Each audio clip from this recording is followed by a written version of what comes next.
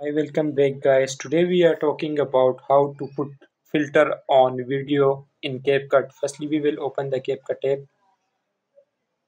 After this, we will click on new project. After this, we will select one of the video.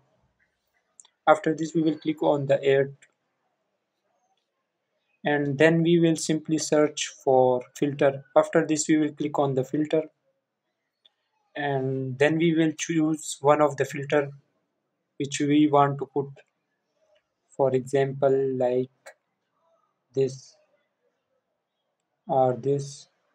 Then we will simply click on it and and then we will save the video. So this is how we can put a filter on video in CapCut.